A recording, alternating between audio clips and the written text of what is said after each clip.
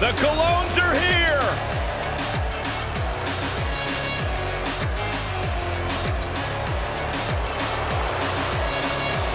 And from San Juan, Puerto Rico,